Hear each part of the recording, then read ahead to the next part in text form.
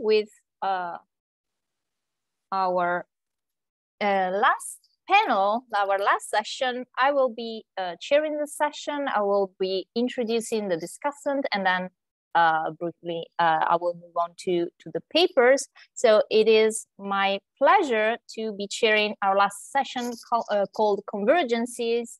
Uh, and the, um, it includes three papers uh, from Michael Nylan, Shou Yin, and Trenton Wilson. And the discussant is uh, Professor Shao-yun Yang, who is uh, associate professor and chair of East Asian studies, uh, studies at Denison University.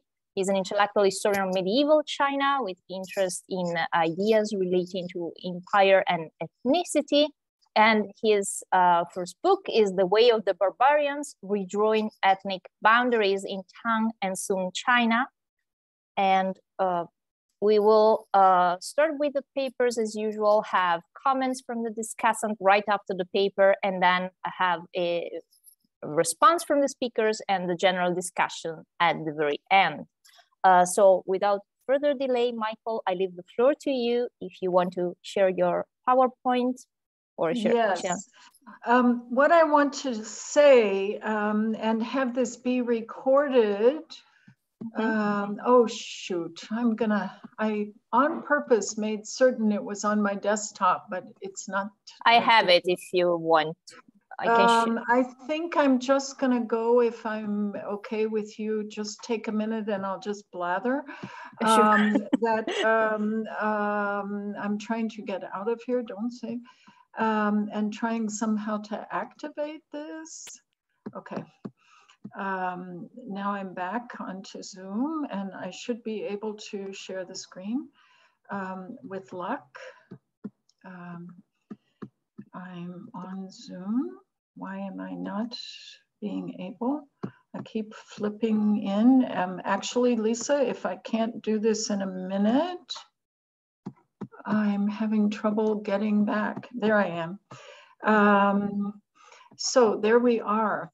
Um, finally, I'm sharing. Okay, yes. this is part of a larger show, uh, a, part of a larger project, and the larger project um, is definitely um, on the politics of the common good in early China. I have a colleague who wrote on the politics of the common good, Hans Sluga, a very great book. Um, but of course, when you don't add in some place, you know it's Western philosophy. So I thought early China also deserved um, um, uh, to have a politics of the common good uh, because I've been working on the documents classic and all I'm seeing uh, by working through these early materials along with excavated materials um, is the common good. So my paper is entitled somewhat tongue-in-cheek. We always hear from the few people who talk about Xunzi that he is the Chinese Aristotle. And I really think that um, I would like to think of Aristotle as the Greek Xunzi. And the problem I'm particularly interested in is enslavement of various sorts and privileges. Um, and the usual story, I almost think we don't have to go into it, is that Aristotle is the systematic universal philosopher, um, along with Plato, um, and that Chinese thinkers are not true philosophers because uh, they're only pragmatic uh, political theorists. Um, my story would be quite different. Um, I would like to say that of the two of the thinkers before me, Aristotle and Xunzi, on the single issue of enslavement and privileges for others, uh, seems to me to be superior. And my suspicion is that that's because he's not living in, an, in a slave society. And so he doesn't have to skirt certain issues in particular ways. Um, let's remember that Aristotle is always trying to describe in both the politics um, and then, um, if it is by Aristotle, the Athenian constitution and other works, what is, what he sees around him. And of course, what he sees around him in Athens is a highly stratified um, slave society. So, um, what I want to uh, begin by arguing is, is the big picture. um, that for Aristotle, the thing that he must prove um, is that the highest form of ratiocination, of rational deliberation, takes place in the public sphere, um, and that defines the perfect citizen.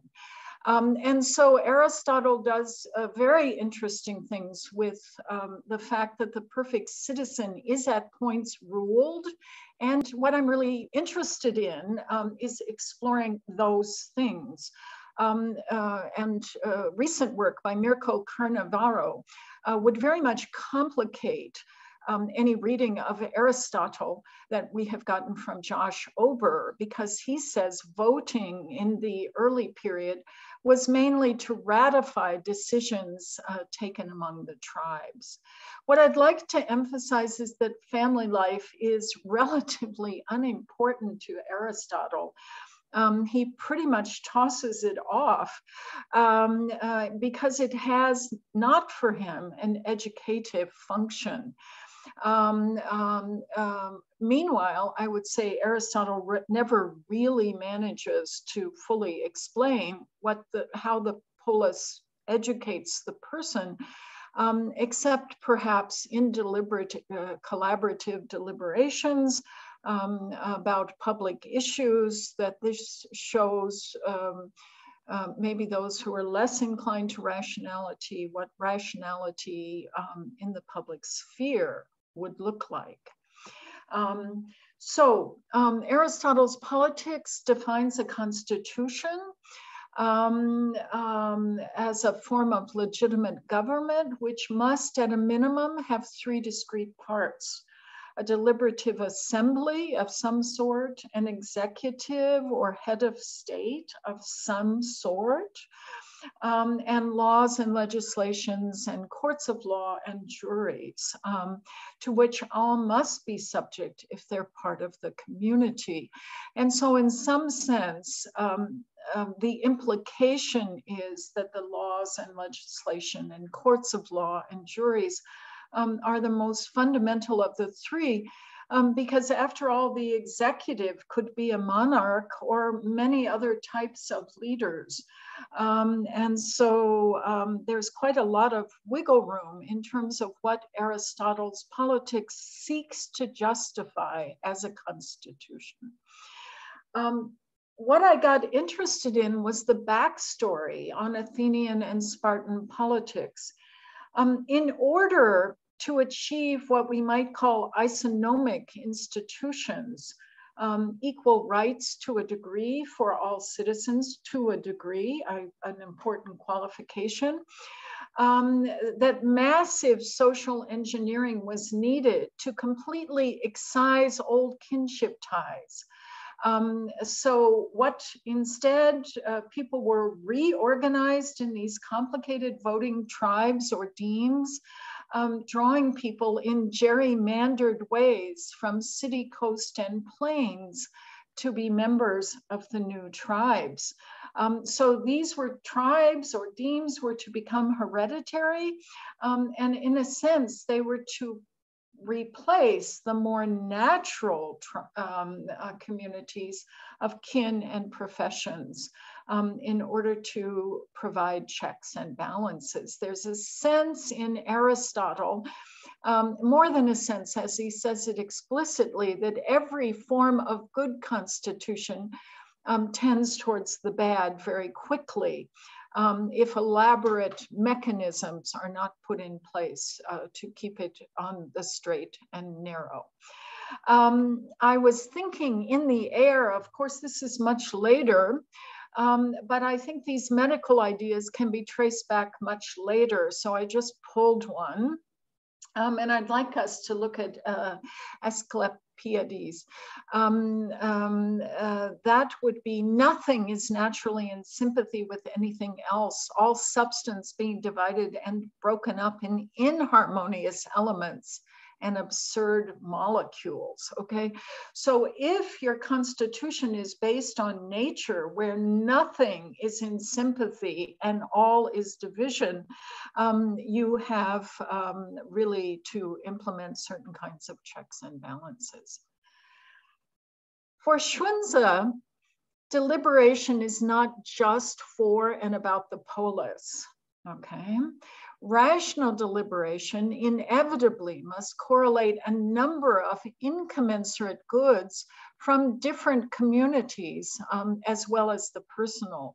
So the personal, the familiar, the political, all of which define the Junzi, AKA um, the noble man, um, as the person capable of self-rule in any sphere. And by self-rule, um, Xunzi definitely means balanced, temperate judgment. It's extremely important to realize that for Xunzi, family life is just as important as official life, as our teachers in the educative function. And education is a lifelong, never ending process. As with Aristotle, the goal is always rational deliberation, which means the proper prioritizing of goals, because these goals, we have lots of goals in life. Um, I want to be liked and I want to be fair. Those are not always um, moving in the same uh, direction. Um, and so um, for Xunzi, um, I think as for Aristotle, the desire to engage in rational deliberation is predicated on the emulation of social superiors, which becomes the driving force. It's just for Xunzi, there are many more social superiors to contend with.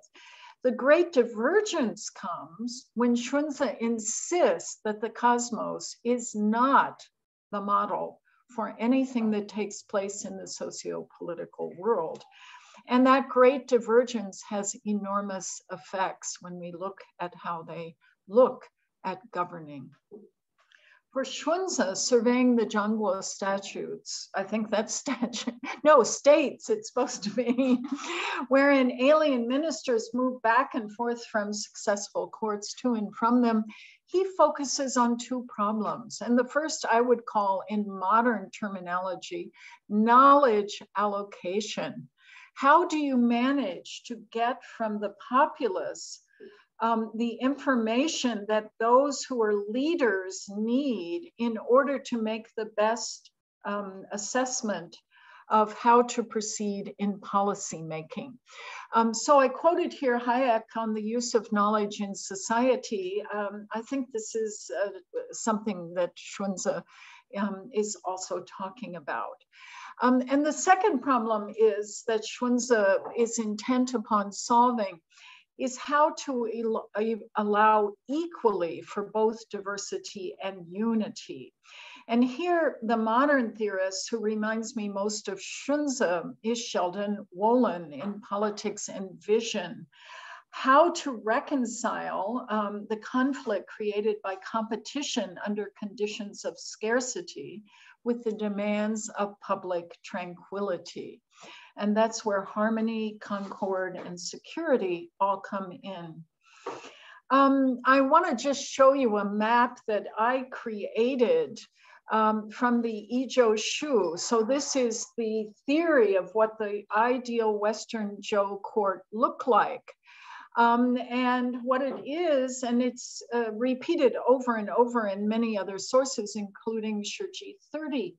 Um, basically, that many people face south and interestingly wore the pearl crown. In other words, that they too were ruling as emperors. Um, that while you can talk about the Tianzi, you really have to look at the body of his, envir um, his advisors um, to decide um, what policies are to be decided. Um, I give another quote that's in the air. I could have given it from the documents, but people are sick of me spouting the documents. Um, this is from Shiji 129, which begins and ends with references to Xunzi. It is Xunzi in the flesh talking about money making. Um, and what he has to say is that um, if the wealth becomes too great, um, people in the society respond in these very negative ways and ultimately become slaves. um, towards the people in power. Once people are enslaved rather than feeling they're participants in the society, then um, the knowledge is not going to flow up from the bottom uh, to the leaders. That's why this phrase um, is crucial to Shiji 129, but something I believe Xunzi would absolutely subscribe to. Um, I want to say what's interesting to me is that women can be exemplars. We often forget that among the 10 sages identified in the Analects, um, uh, we have one woman. Uh, we often forget that in the Han period, uh, Ban Zhao was considered the chancellor um, in her own time. Uh, we often forget too that education can take place in any setting. We focused way too much on uh, the teacher disciple relation. Of course, that's significant. Um, but as important as that is for Xunzi, he goes on to show us um, that people are taught by everything, including public spectacles. Um, so the, there are many, many, many ways that people are taught. Um, we also often forget that Xunzi insists that all people, in theory, can aim for rational deliberation, not just male citizens or not just male officials long-standing tradition, which Xunzi cites, by the way, makes the fuel and fodder gatherers capable of providing good models for their social superiors. Everyone in the state, in theory, has unique experiences and insights. The problem is how to tap them um, and how to then, having tapped them, um, uh, devise rational policies for the benefit of those. Um, I want to just mention that in Xunzi, the role of precedents and models for, um, for training is complex. We often think of precedents only in terms of legal and administrative models, but I've put on the screen, as it were, um, just the beginning um, of the sorts of things that can be cited in legal cases as precedents um, in the Han period.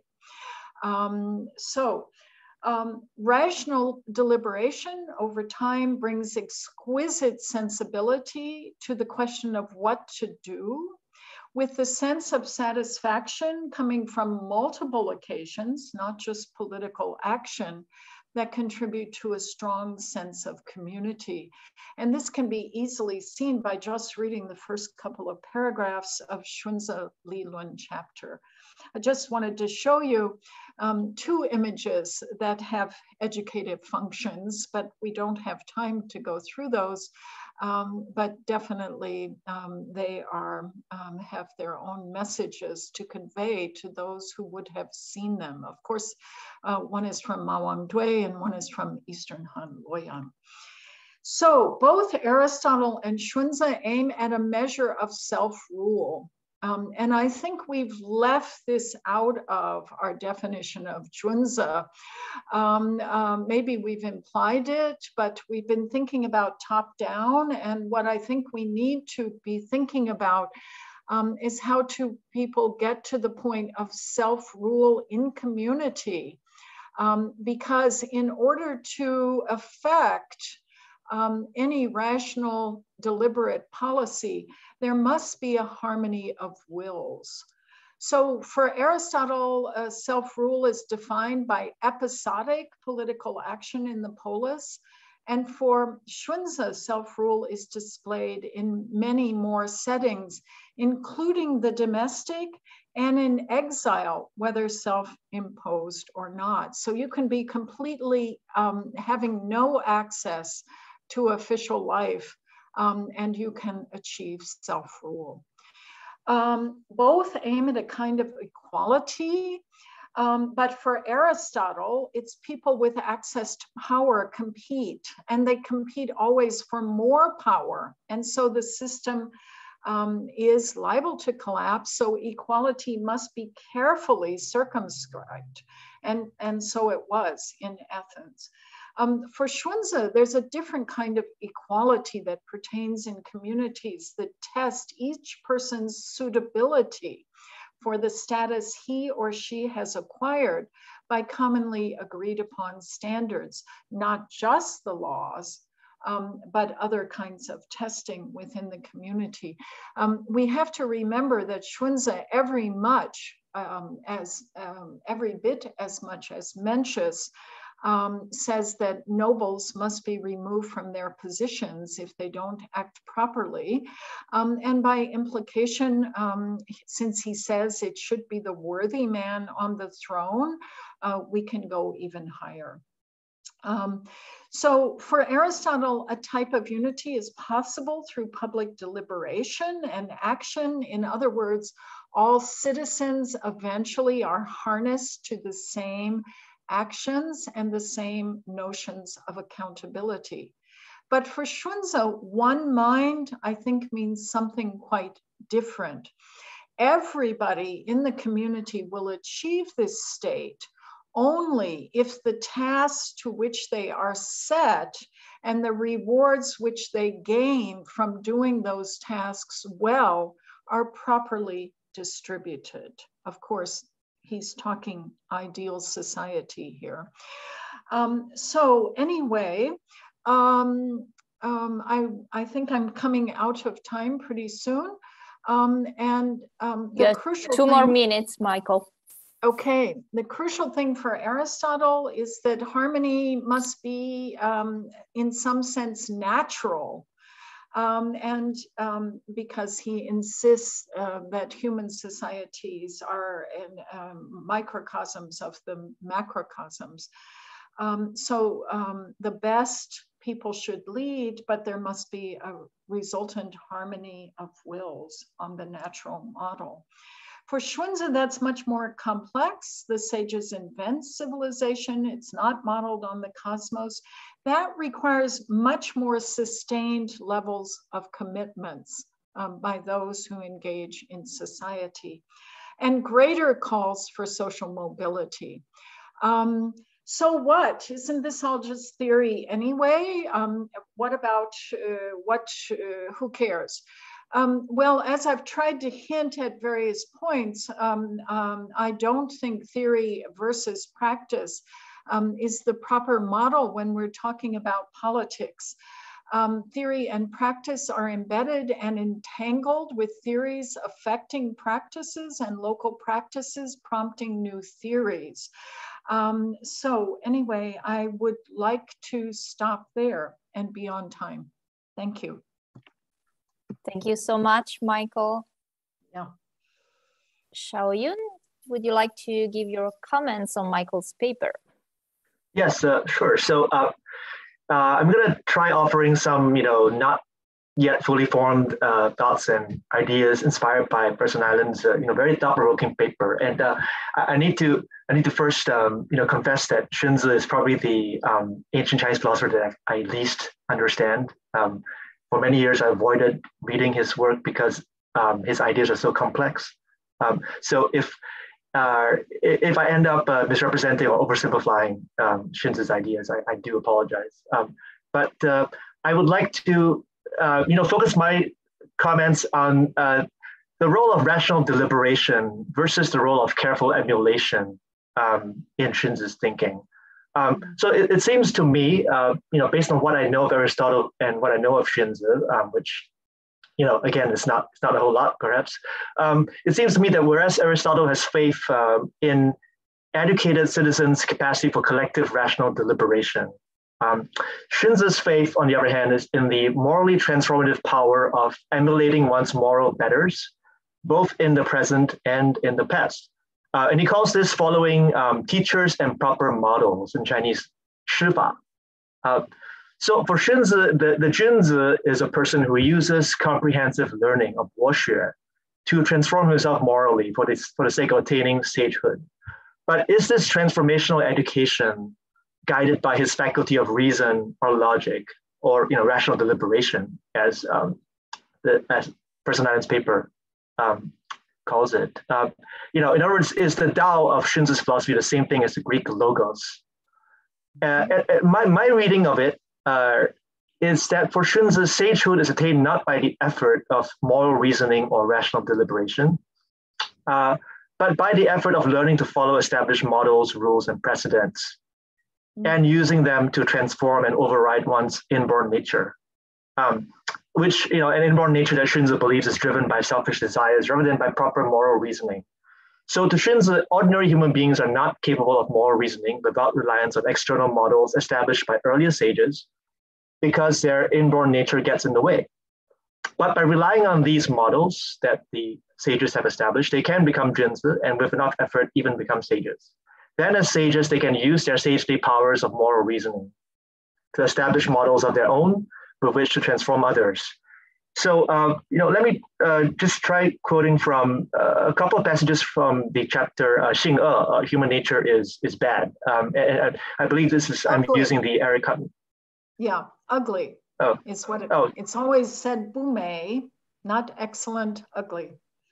Right. Yeah. Human nature is ugly. Right. Um, I, I, think I'm using the Eric Hutton translation here. But uh, uh, so one passage that uh, I'm thinking about is this one. Uh, it says the sage accumulates reflections and thoughts and practices deliberate efforts and reasoned activities in order to produce ritual and yi, li yi, and in order to establish proper models and measures. So ritual and yi and proper models and measures are produced from the deliberate efforts of the sage. They're not produced from people's nature. Um, and then the next passage um, that I was thinking about is this one. Um, liking what is beneficial and desiring gain are people's inborn dispositions in nature. Suppose there were brothers who had some property to divide. So there's a hypothetical scenario here. And that they followed the fondness for benefit and desire for gain in their inborn dispositions in nature. Now, if they were to do so, then the brothers would conflict and contend with each other for it. They would fight over who gets more land, gets more property. However, let them be transformed by the proper form and order contained in ritual and yi. If so, then they would even give it over to their countrymen. They would even you know, not keep any for themselves and give it to the state. Thus, following along with inborn dispositions in nature, even brothers will struggle with each other, right? So, you know, in other words, their, their reason is not going to be uh, any help in this regard. If transformed by ritual and yi, then they will even give it over to their countrymen, right? But where does ritual and yi come from, right? To my mind, it doesn't come, it doesn't come from moral reasoning that they are able to, uh, to perform because their, their nature basically gets in the way, right? The ritual and yi comes from uh, models and precedents established by the sages. So, um, you know, let me continue. So for Aristotle, moral reasoning is the duty of every citizen, uh, whereas natural slaves lack the capacity for it. That is why they can't become citizens. Um, they're not they're not capable of that. Uh, for Xunzi, moral reasoning is work that only the sage is capable of doing, because only the sage is fully free of his inborn nature. Everyone else left to his own devices is essentially a slave to his nature. Um, and so a society in which everyone reasons for himself would be a disharmonious one filled with conflict because every non-sage's reasoning will tend to lead toward the pursuit of self-interest. At least that is my reading of, uh, of what Xunzi thinks about that. Uh, and I'm happy to correct it. So instead of reasoning for ourselves, Xunzi suggests we should simply emulate the sages of both the past and the present until we have become sages ourselves. Um, so Aristotle is concerned most of all with building a stable, sustainable political community of equal, free citizens in a self-governing city-state. Uh, in Book Five of the Politics, he argues that monarchies are only sustainable if their powers are limited rather than absolute, because overpowerful monarchs will always arouse resistance from their subjects who recognize them as morally undeserving of such absolute power. Now, Xunzi's vision of perfect community and order seems much more hierarchical and monarchical to me, uh, with a selfless and truly morally superior, truly morally superior sage king holding and deserving supreme authority at its apex and serving as the one man engaged in rational deliberation or moral reasoning on everyone else's behalf. So the, the question that comes to mind uh, for me is, is that more actually like Plato's ideal of the philosopher king in the Republic than like anything in Aristotle's politics? Um, so that's that's the question that kind of like uh, is, is, is in my mind and that, you know, I would love to hear Person thoughts on. Okay, so, first of all, um, thank you for those comments and you've given a perfect Neo-Confucian reading um, of um, Xunzi. And I'm trying to give uh, what I think is um, a, a Han Dynasty reading. And what I mean by that is I think you see rituals as um, and precedents as set and fixed. Um, and what is argued over and over again in Han Dynasty is there's a huge body of rituals and precedents. And faced with exactly the same decision, uh, sages can go completely different ways, um, as they do in the Weizi chapter of the documents. So rational deliberation is needed um, always by people, and the you don't get a, a uniform message from rituals, laws, the five classics, the masterworks. Okay, so that would be the first thing I would say. And this is precisely why Xi said, get rid of the five classics um, because they give too many models. People are confused uh, by the multiplicity of models. Um, which from which they will have to choose. Okay, so that's problem number one. Problem number two is you note that even in the passage that you uh, quoted from Eric Hutton, he talks about rational deliberation. Um, so um, wait a minute, what are we talking about here? Um, what is uh, what somebody has to do? I think the difference is again, you've given the Neo-Confucian model of the sage, the sage who's reached a plane of being after which he never has to think again. That's not what any of the early texts are describing. In fact, they focus on all the difficulties that even those sages had in determining policy. And therefore, that's why they had um, to gather information from many others to be sure as to what was in all likelihood um, the best policy. Zhou is confused in the documents. King Wu is confused in the documents. Um, all of the those in supreme power. So Xunzi says at one point, and this is crucial, that the ruler, and I forget whether he says the Renju or the Tianzi, I'll have to go back and look, um, never makes a move without consulting his officers. Um, though he can walk on his own, he would not proceed on his own. Okay, so um, I think you've given a perfect Neo Confucian account um, of both the sage and of ritual as a fixed body from which one must, to which one owes obedience. Um, the other thing is that I think, and this will be my last point, again, you think of Shifa as describing only an allegiance to a single teacher. But Shoufu Yin and I have done a lot of work on the term Shifa um, in the context of writing pieces together. And all kinds of people can be um, um, identified as advisors and consultants of the worthy sort. So I think um, one, the language changes over time. And I think in many ways, the Neo-Confucian construction is much more top-down because families themselves are much more top-down. So it replicates what is being reorganized in society. I don't think Xi comes out of nowhere. Um, but in Han times, we have a very different um, thing. For example, women can be heads of households.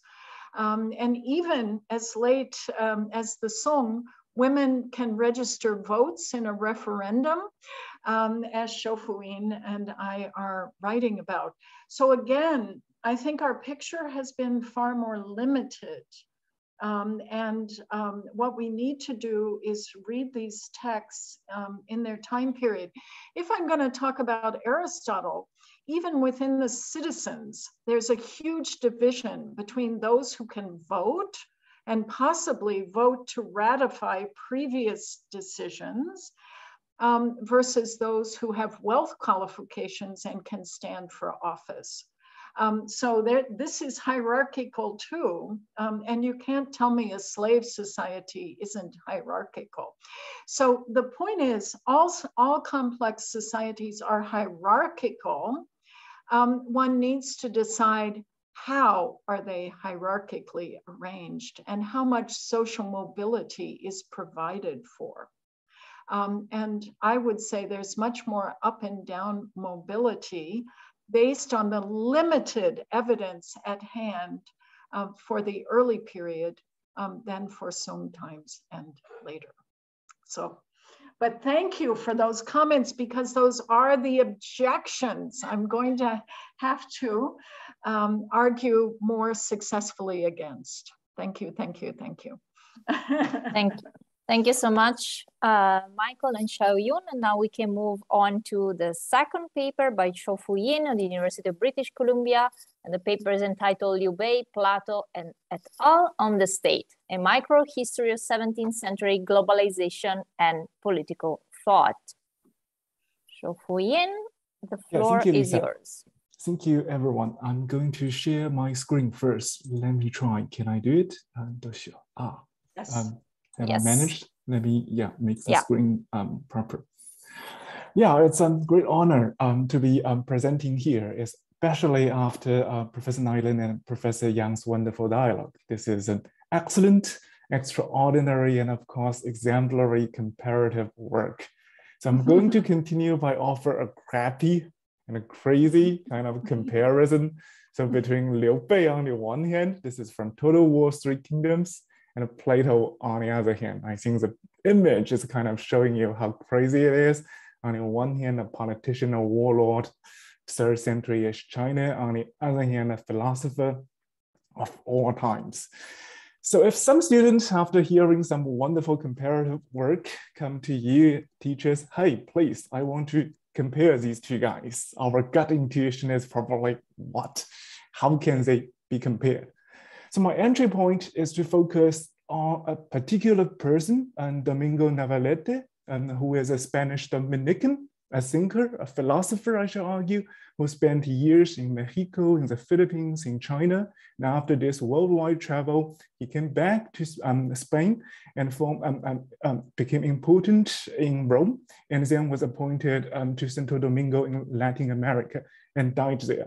So 1676, so he published this book um, about China, um, definitely, but it's also about many important things. We can do a quick kind of cover analysis. So in the end, it is about Religiosos de la Monarquía de China. It is often read as a mere book about China, about religion, but I'm also going to show well, what is the cover shows, what is really important to those históricos, políticos, éticos. So it is a treatise focusing on history, using history to address important issues in politics and ethics. So my basic argument today, um, I'm going to focus on a small passage, actually two passages in this, well, wonderful book. This book also discusses Tang Taizong, uh, um, his statecraft, Professor Devel um, has wonderfully shown us in her works, in her lectures. I'm going to focus on only one page where he compares Liu Bei and Plato in a semi-crazy way. Um, my argument, my proposal is that it's not only entertaining, but also productive to engage that because it embodies a pioneering approach to global political thought. By which I mean, uh, borrowing uh, from Loubna El Amine, it is an approach that seeks to go beyond the East-West divide and to address globally shared conditions that regimes, cultures of different traditions are all facing. Of course, this is 17th century. To be more specific, so um, um, to anticipate a little bit, his argument is rather starting from Thomism, king's two bodies, if we want. The sovereign is the soul of two bodies, his natural bodies subject to disease and death is a symbolic political body that is a polity itself. So later in Tudor context, king's two bodies we are familiar with, but Navarrete has his own unique proposal, uh, proviso. That is, if that is the case, then the king's pain must be twofold. The natural pain comes from disease, natural disease itself, but the political pain will be resulted from the injustice of the reign, about the polity. And he is, by incorporating Liu Bei, he was making a very important argument, the sovereign's ability to feel the proper pain, the political pain is of pivotal importance. So my goal today is to show that by incorporating Liu Bei or a Chinese, imagined Chinese tradition into this long-lasting dialogue, Navarrete has a genuine point to contribute to the issue of body politics, mainly for today. Implicitly, uh, through my dialogue, I also want to share with you a little bit Navarrete not only as a European thinker, but also as a global reader of Liu Bei's statecraft along with these Persian guys, Ottomans, Manchus, Koreans. Um, yeah, if possible, I'd like, like to write a book around that. So it's about how the death of Liu Bei becomes a starting point for different political theorization. Yeah, that's the plan. Um, first of all, I'm introducing you a little bit about uh. So I am in Vancouver in the middle. So he started North Spain and studied there, rose as a university lecturer, deciding that uh, this career is not interesting stuff enough. So um, he traveled around the world. So he went to Mexico first, and there he examined, um, um, uh, trying to understand what is going wrong with the Spanish Empire. And then he went to the Philippines, lectured there, theology, philosophy, and then um, went to China for a while, and then coming back. Given the limit of time, I, I, I, shall not delve into further details. The only thing I want to show is that a lot of documents related to his travels are highly illustrative. So this is one of the examples about, uh, this is 1677. So after he published that book, before he going to uh, Latin America. It is a record of travel about how to embark on a ship. What are you going to do? It's more or less like visa passport of our own times but it's highly illustrative of the kind of early globalization. He was talking about sickness of his assistant. So sickness is a constant theme throughout his travel. He's talking about delays. If I were sick, how can I catch the next ship? He is also talking about what the king has granted to bishops, in a certain sense, the rights of bishops in such a kind of global empire. And in his vision, it is of pivotal importance to the health of the regime. And in the end, it's the most formulaic expression you can find in all kinds of these petitions. That is, Pido Justicia, I plead justice. And this kind of petition, official document writing, and the theme of justice is actually a very important theme throughout the later analysis. So I shall um, end up here um, um, um, um embarking ourselves onto the Liu Bei story on the right side, it is Navarrete in Spanish. On the um, left side, well, you see the image. Uh, uh I, I, just briefly introduce you the story. So this is a Liu Bei. Liu Bei by then is 60-ish. By the way, this is um, here when he was 60-ish. So Liu Bei is dying. And, and so the, the, very worthy counselor Zhuge Liang is next to him. He was telling Zhuge Liang, hi, I'm going to die. And I have a son, you know, he is silly. If he is good, then um, of your assistance, then assist him. If he is not that good, well, you just take his place, right? We are more or less familiar with that story. And of course, Zhuge Liang say, no, no, no, I, I, I will be loyal. And Liu Bei told his son, yeah, be a good guy. This is by and large the story.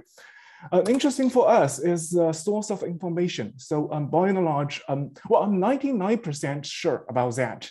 So this is a book, 1541 print. It's a Ming print. This one survived in uh, nowadays in Spain and next to Madrid. This is a royal collection, um, It is a highly influential book in the kind of coastal area, Fujian, Zhejiang, where Navarrete labored, but it's also um, still in the kind of um, um, um, um in, in Spain. So I can, no evidence, I, I have not identified concrete evidence that Navarrete has actually tapped this book, utilized this book, now sitting on the shelf in Spain. But I'm 99% sure that all the kind of narrative that uh, Navarrete presented is intended is more or less in congruence, conformity with this narrative. So an example of how literal Navarrete's translation is, in Shao Wei Tongjian Jie Yao, so Liu Bei has a saying that if you are good, 可以服人, people will follow you. So 可以服人, this 服 in Chinese has a relatively wide semantic spectrum, right? Other people, you can convince other people, other people will trust you, etc.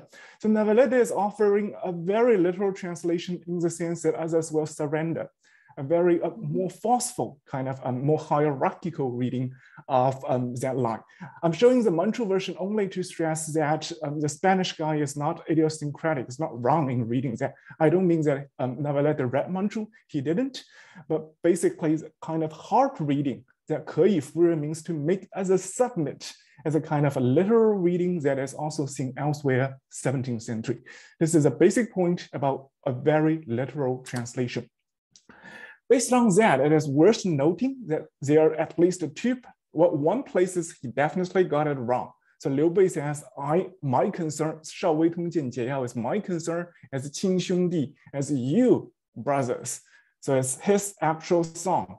But the Spanish friar reinterpreted that, no, uh, my, my, my concern is my subjects and the subjects as my brothers. You can see a Christian language, Catholic language there, an idealization of Liu Bei. From someone who cares about his family, and reinterpreting as someone only cared about his subjects who are his brothers.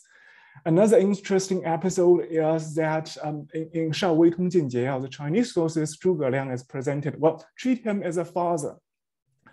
So Navarrete is over-interpreting that, treat him as a counselor, as a friend, and as a father. So the emphasis of friendship is important and worth our attention for many reasons. In the European context, anti-Machiavellianism, New Stoicism, Lipsius that Navarrete cited, friendship pivotal importance. Friendship is also important for the Jesuits, the, uh, the, the missionaries program to reach out to Chinese elites. So uh, Matteo Ricci, um, Martino Martini, they published upon friendship. And it's also important in late Ming uh, intellectual landscape. Um, yesterday we talked about Li Zhi on friendship more kind of um, anti-conventional as Lu Liuliang. We can discuss that a little bit. And also local Chinese. Um, this is Zhu Zongyuan. Zhu Zongyuan discussed friendship as well, synthesizing Christian and late Ming sources, um, uh, resources. And Navarrete actually cited him, uh, cited the Chinese writing of Zhu Zongyuan into the European debates. So friendship is a kind of connecting point, a lot of intellectual currents coming together. Also interesting is Navarrete, after introducing Liu Bei, says, wait a minute, let's pause a minute. Let's think about a minimal pensamiento. So he is referring to us, us to a certain book. Let's read this book. So I actually find that it is a biblical commentary, um, uh, uh, the passage on the, uh, uh, uh on the left. So it's actually a, a, a biblical exegesis of Psalm 75, 11-ish. So the basic point is that in this psalm, um, human thoughts, ideas, is divided into two kinds, those directly in praise of God, those otherwise. The commentary is saying for those who are just, even those of thoughts that is not in praise of God directly, however small it is, it pleases God. So we can tell often what, how Navarrete is intended um, um, his passage to be read, right? After you hear Liu Bei's story, certain comparison, you pause a minute, you think about how these minimal thoughts, as Liu Bei is advising to his son, can be pleasing to God, a full pause. And then he starts his comparison. That's about the main topic today. This is a text. Instead of reading that, I just want to show you first the structure, the beauty so he starts by comparing Liu Bei with uh, Saint Louis, king of France, and then move to Plato and then Seneca and in the end, St. Thomas. The structure behind, starting with a pagan king and a Catholic king, and then a pagan king with pagan philosophers, and in the end, a pagan king with Catholic philosopher, Thomas Aquinas. We can appreciate the beauty the design of the structure, right? Uh, three layers, fantastic. So the comparison with, uh, between Liu Bei and St. Louis is more or less kind of straightforward. So this comes from um, St. Louis um, enseignement teaching to his son. So do good things, love your neighbor. So there's a natural, more or less obvious connection there. And then let's delve into Plato and Seneca. Um, reading the text, you might get the impression that, aha, Navarrete, um, he read a lot of classical pagan authors. That's not true. All his kind of Greco-Roman citations come from one single citation book, I should not call that, comes from one monograph, that is Lipsius. That is more or less a statecraft book, Mirror for Princes, but more or less composed of his illustration integrated with citations of ancient authors. So this is an example. He was saying, I have a point. My point is monarchy is the greatest. Well, Asian authors agree with me. And then he cited Plato. And this is also an example, even though Lipsius is a renowned humanist classical scholar, Catholic of that time, the entire book is well received in Spain in particular, but the entire book is a kind of fabrication of Greco-Roman authors. So he was kind of faking the actual expressions from Plato. So Plato was saying ex anthropon, which is true, meaning that a good polity is distinguished, a perfect polity is distinguished from the rest, as if a god is distinguished from the people. He is saying nothing like the king is a god among men. So this is a example of how he invented things. Seneca, another example. So uh, Lipsius is known for um, Seneca editor, publisher, scholar, and this is another example he was ascribing to Seneca a certain phrase, like via piety and justice, princes become gods. Sounds cool, but it's entire uh, uh, kind of uh, uh, invention. The text is Seneca Apocolocyntosis. So idea, um, the, the word indicates it's a satire. So it's a kind of satire of the idea of apotheosis, becoming gods, a Roman emperor becoming a divus after his death. But to make fun of that, he was saying becoming pumpkins, right? Uh, goods. Um, so a, a, a, an emperor after his death, he turned into a pumpkin-ish. So it's intended as a satire, intended to satire the certain style of speech of Augustus. So Augustus in that was saying, after becoming gods, I, I did not say anything. That is um, supposed the, the piety, justice, prudence, etc. So these two examples shows how uh, Lipsius invented ancient maxims, and these maxims are unfortunately cited by Navarrete. But Navarrete was using them to advance a genuine argument once we see how these citations are connected to the point of Aquinas. So this is a famous passage of um, um, um, Aquinas um, becoming the kind of seedbed of later theorization, king's two bodies in Tudor, England. Basically, it is saying that a king is like the soul in the body, and is like the God in the world. This creates the problem, right? What does that mean? What it will actually entail? So Tudor England, Kantorowicz's king's two bodies, we are more or less familiar. And Domingo Navarrete offers a different interpretation. As an agent, as a soul, as a sentient being, so he is thus subject to two kind of feelings. What is truly emphasized by Domingo Navarrete is Liu Bei dying, is suffering a lot from his physical body, a dimension that Chinese sources, Manchu sources tend to overlook. He was really suffering from the natural pain.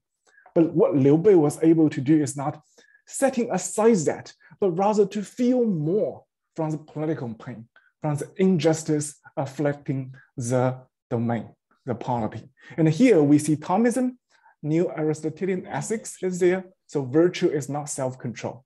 Virtue is not that feeling pain in a certain way, but setting them aside, pursuing righteous thing, but rather to feel rightly, feel more from the political pain even than the bodily pain. And this is what I mean, the Navarrete's proviso to the problem of body politic. I'd like to stress that Navarrete is not the only person in 17th century who utilized Liu Bei to um, offer a radical or a very interesting political theorization. This is Chou Han, slightly earlier than um, Domingo Navarrete. He was doing something else, not translation, but imitative drafting. This is more my book manuscript from my dissertation. So he was required to recrafting a document on behalf of Liu Bei when he was dying. So he was saying, he was reinventing a philosophy via Liu Bei's voice that the righteous way, the proper way of governing a polity is passing the rule, rulership, the entire polity to the worthy. And yesterday we hear from Sarah Allan, and, and this idea is buried underground for 2000 years-ish. It is not transmitted, at least in China. In 17th century, these rhetoricians, these trainees, these scholars, reading Liu Bei's story was reinventing the idea. The superior virtue is to pass the kingdom to the worthy, not to yourself. So this is the point of recapitulation. So this is a microhistory, not of a book, not a person, but even a passage. So we are trying to emulate literary critiques, philologists, book historians, but trying to show how this approach can be productive. Central to my argument is that it is productive to compare Spanish political thought not only to their British, um, later English counterparts like Hobbes, like from the lens of 18th, 19th century Europe, it is also productive to read it from the lens of global connections with China. And we present Navarrete not as a mere kind of traveler, ethnographer, proto-sinologist, but a genuine philosopher. And we place him in the broader context of global readership of Liu Bei. In the end, it is an invitation to further inquiry, thanks to which we might realize one day that the Castilian, Catholic, Chinese, Joseon political thought might be even richer and more diverse than previously assumed. Thank you so much. Let me end here. Thank you very much, Shoufu. And then we can have comments from Shao-yun. All right. Uh, so, uh, you know, I, I want to start by saying that I, I really enjoyed reading uh, Professor Yin's uh, paper. Uh, you know, I was just uh, just intrigued by how you, know, you can trace the influence of this one of this text or the influences that it had, you know, across across not just text, you know, not, not just intertextually, but also between across languages and across countries um, in such a global way. So you know, I think I think that approach is just really promising, and uh, I look forward to seeing more of it in Professor Yin's work. Um, so uh, there was something in the in the Professor Yin's paper that uh, was not in the presentation, um, and and that I would like to kind of draw attention to. Uh, and that is the, the kind of political or political historical context in which um, you know uh, Navarrete seized upon the um, story of Liu Bei's last words, so to speak, um, and sort of like use that as uh, a trope to make a certain argument about politics. Um, and so, as I said, it's mentioned in the in the paper, but uh, I I do not believe it was in the presentation. So it might be interesting to the audience and also the president um, to have to, to for me to share some thoughts about that. So essentially, what is happening here is that this is 1676, um, and Navarrete uh, it, it, seems to me, and uh, I'm not the first person to have suggested this. I think uh, there was a previous study of Navarrete's work um, cited by President that had uh, suggested this as well. Is that the, Navarrete was using Liu Bei's words to Zhuge Liang and to his son, right, to express support for the idea of John Joseph of Austria, um, also known in Spanish as Don Juan Jose, right, to launch a palace coup to end the regency of Charles II's mother, Mariana, right. So Charles II has just died um, and his son has um, become king, but the son is too young, and so the the the, the queen mother is essentially um, running the place uh, along with one of her favorites. Uh, so uh, John Joseph opposed uh, Mariana's regency, right, and had political ambitions of his own. So as as uh, mentions in his paper, the Tratados, right, this text by Navarrete, is dedicated to none other than this guy John Joseph, this guy who uh, is on the verge of launching a palace coup in Spain. So in early 1677, John Joseph did lead such a coup. He expelled the Queen Mother Mariana, and he made himself Prime Minister of Spain. Uh, but he failed to reverse the Spanish Empire's decline, and he died just two years later. So it essentially kind of like really came to nothing, which is why nobody remembers him today, I suppose.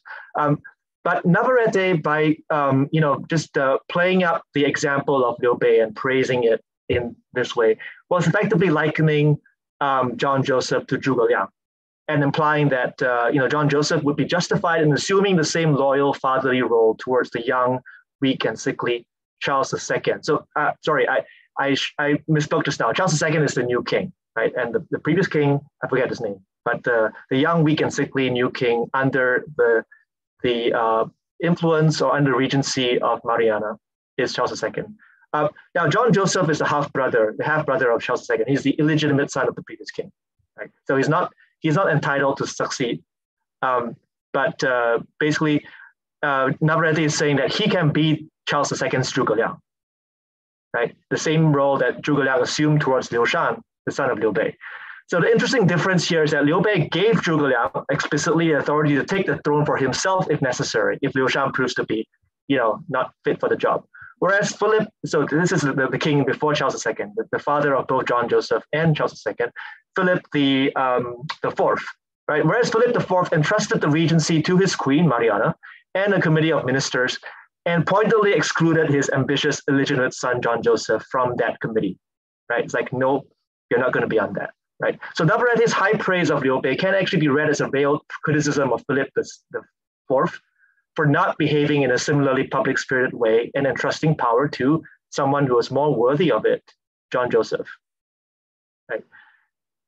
So, you know, it is really complicated. I, I hope I hope that the audience is actually following uh, the logic here. Um, but essentially, uh, you know, what, what I would add is that I'm still not sure, you know, after after thinking about this whole situation um, and its context, that one can actually read more into this and, and take Navarrete's interpretation of Liu Bei as a statement of political thought, right? And I, you know, I, I would be really uh, interested in hearing more about, you know, how uh, you kind of balance the immediate political agenda behind this use of Liu Bei and the, the kind of broader political argument that might be that Liu Bei might be, uh, you know, used to make in this text.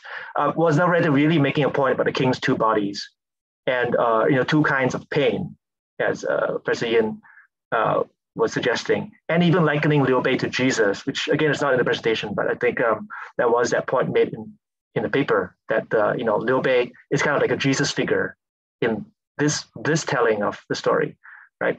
Uh, you know, it seems to me, uh, at least, you know, that Navarrete found, you know, he simply found a story from Chinese history that could serve to provide moral justification right, for what John Joseph was going to do, to say that, you know, God is going to be pleased by, by uh, you know, taking power away from the queen uh, and holding it in your hands. Um, so quoting Plato and Seneca, uh, as well as the Bible, you know, might have just been icing on the cake to demonstrate Navarrete's authority as a scholar, right, while he was doing this, much as the Chinese literatus would quote the Analects or the Mencius, right? So you know, I, I, have to admit that in this passage at least, I don't see him, I don't see Navarrete engaging through kind of comparative philosophy or political philosophy.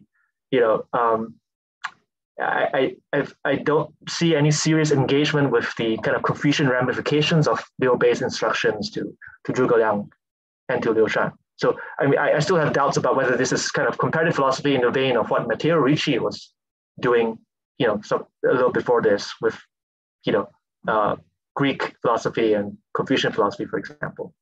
So um, I'll leave it at that, but you know, I would love to hear more. Yeah, this is fantastic, um, Professor Yang. Thank you so much. Yeah, super uh, illuminating. I think there are um, two threads, right? Um, the last one is about um, how thick um, we want it to be so as to say it is um, comparative. I think that is a very productive question. Uh, we can discuss that further. I want to go back to the very important thread about the entire um, um, um, as a kind of um, speech act in a very Skinnerian sense. Because one possibility following Cummings is to offer a very kind of Skinnerian reading, right? The entire tratados is a kind of specific political move. It's dedicated to Don Juan, and as um, as Cummings has already emphasized, it um, satis- it? he achieved his goals, right? Establishing a concrete kind of relationship with Don Juan, especially after the coup d'état. And this can be compared, um, as the paper alludes to, on the one hand, uh, Skinner's study of Hobbes in the entire Leviathan itself, right, um, can be read as a very kind of factional kind of a political action embedded uh, uh, in a certain kind of uh, uh, uh, uh, battles between the English crown and the parliament. So citing that a purpose, shows that the text has a concrete political purpose, does not negate that it can have very profound, thick, interesting political ideas in that. And, and going back to your earlier question is about what kind of form of thought we want. Do we really need a kind of commentarian style, argumentative style, or certain kind of um, um, um, a postulating of ideas, mentioning names can embody certain thoughts in a certain way that remain underappreciated. That goes to Chao Chan Han's example as well, because that is another form of thinking, another genre of text that is rhetorical writing, imitative drafting, mere performance, emulating a certain literary style, literary training. So I will be arguing that um, Navarrete, this kind of um, more casual name dropping, this kind of writing, Chao Chan Han rhetorical training, and Hobbes um, Leviathan, definitely a philosophical treatise, all of which have concrete factional politics behind. And interestingly, Chao Chanhan was facing the same problem as, as a um, Gwanghaegun period. So they are facing the same problem of deposing someone, coup d'etat, and they are problematizing an interesting issue. Um, we might say constitutional crisis. Under worst circumstance, we can suspend the power uh, of the monarch, or we can call the primogeniture as principle into question. So all these three kind of cases, they share the same kind of context, political context, and they can all be read as a political action in favor of certain party or part faction against another. And this is extremely interesting. And thank you so much for offering this wonderful, lucid introduction for the politics. Up to that point per se, I struggled with that a lot. So I was trying to read as much as possible because this is a very sick book. I mean, Navarrete, Dados, right? A very sick book, and this is one episode. Cummings is interested in linking um, the Tang Taizong story um, to the Spanish politics. In a certain sense, every episode, if we practice that approach of reading, can be interlinked to Spanish politics in a certain way. And then the question will be a methodological one. What guides our this very creative contextualization if the passage is tenuous? So um, um, as you mentioned, I put that into a footnote and I didn't um, expound that.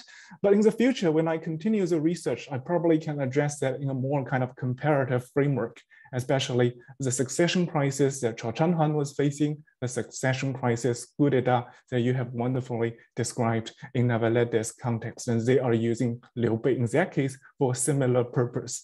Methodologically, I was wondering whether this kind of comparison can shed further light on previous methodological conundrums. Yeah, this is a very long way of thank you for your very illuminating and insightful suggestion and guidance.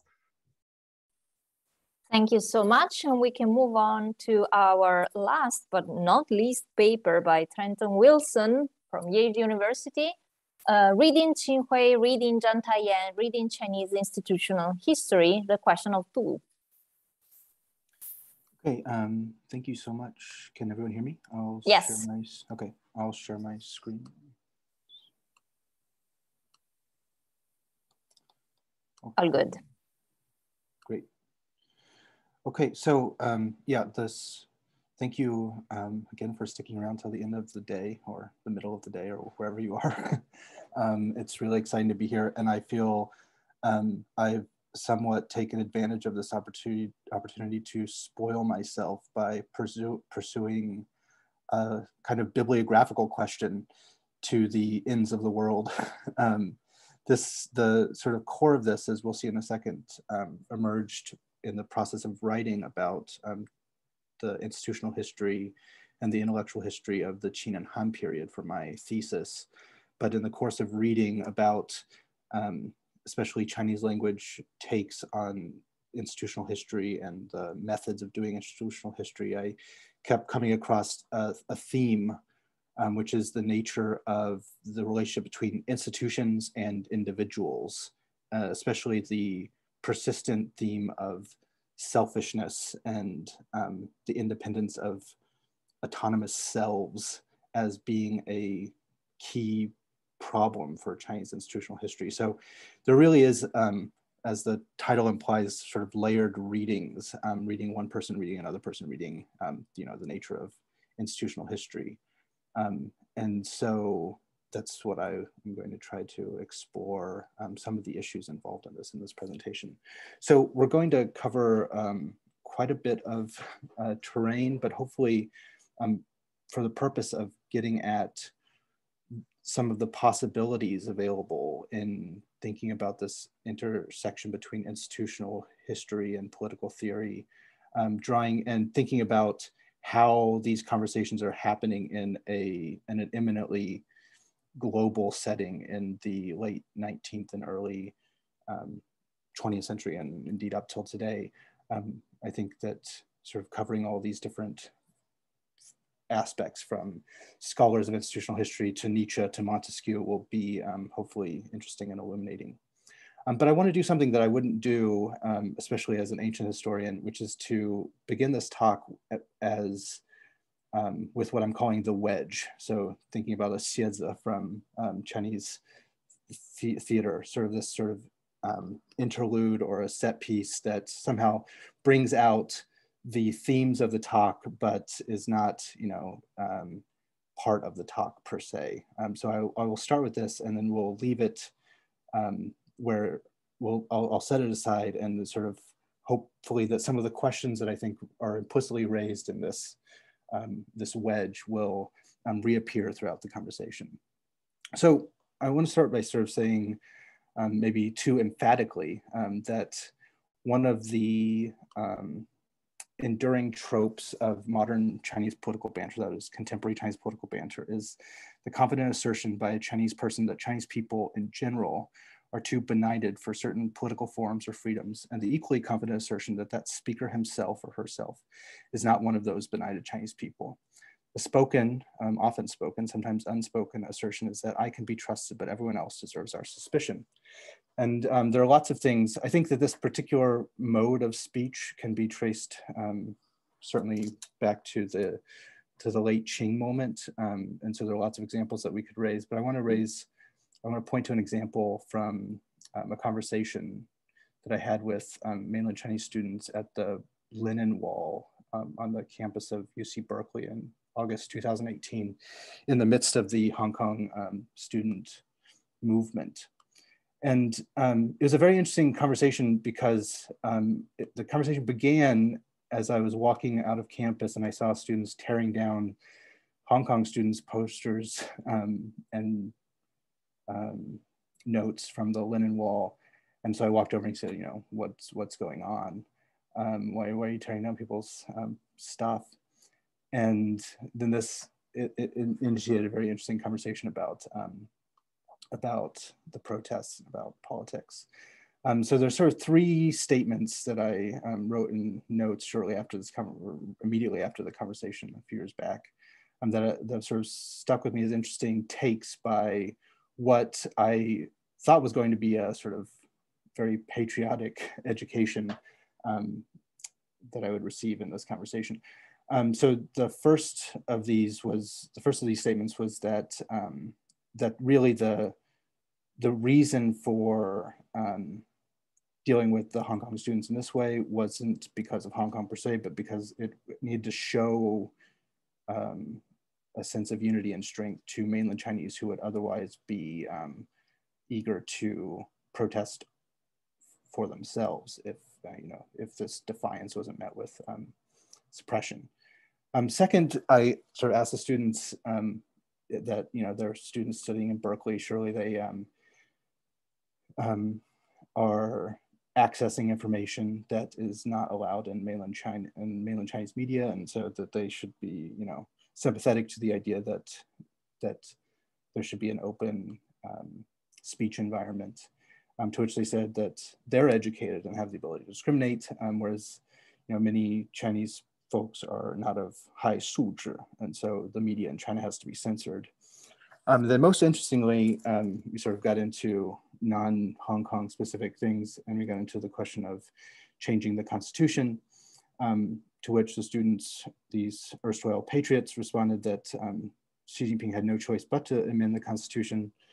Um, and this particular student said that his dad does business in Fujian and everyone there knows how corrupt she was. So if he didn't amend the constitution, his own career would be on the line um, after the fact. So there's there's a number of interesting things here about you know the relationship between um, judgments about the nature of Chinese political institutions, um, Chinese um, uh, Chinese the nature of um, Chinese uh, Chinese culture and such that are all, all sort of implying a certain vision of what is possible and what's not possible in terms of politics. And I think that this this motive, um, I mean, every everyone in different ways or or um, different cultures are you know participating in this, but it's it's interesting to sort of reflect on what exactly is the um, relationship between these um, assumptions about the legacy of a people or the legacy of an institutional culture and what that implies for the possibilities for the present and the future.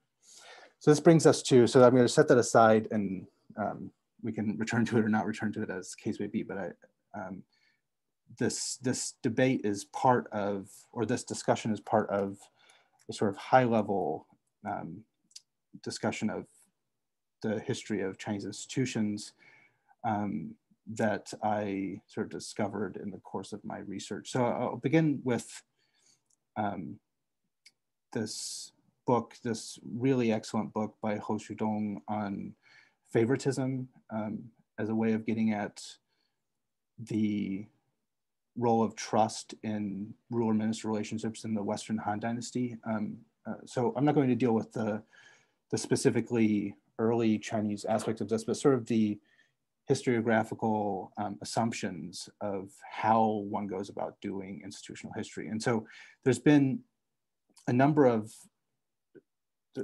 Hou Xudong's um, um, writing has inspired a number of conferences in mainland China, um, speaking specifically not so much about the um, the Western Han history per se, but about the way he has this methodological breakthrough about how to do institutional history.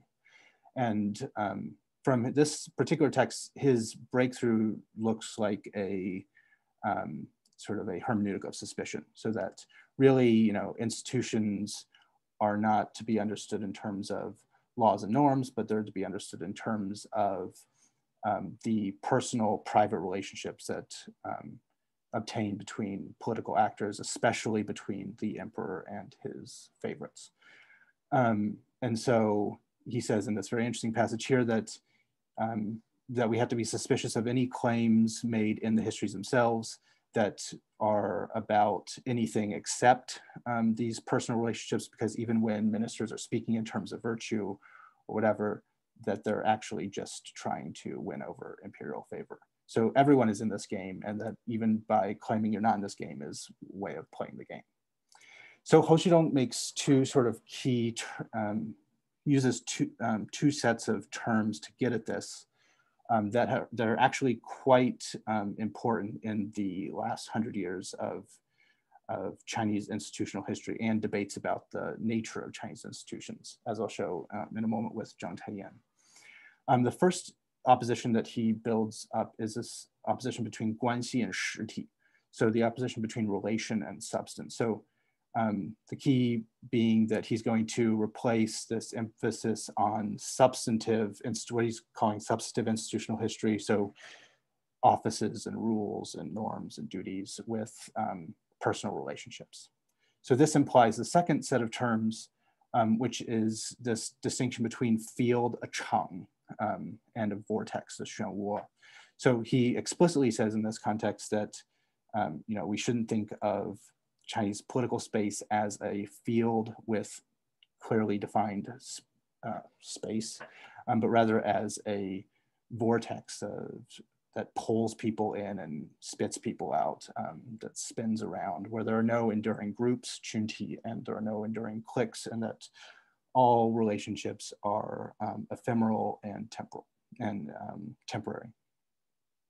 So um, this, there was a, a re review of Hou Xudong's book called 走出封闭的政治史, um, published on um, Pengpai Xinwen by um, someone going under the name Lao Wangzi, who drew out the, the, dis the distinction between these two with these two images, that the, the political history we need to escape is the one on the left where we have um, people who are, you know, acting in a certain space that is well defined.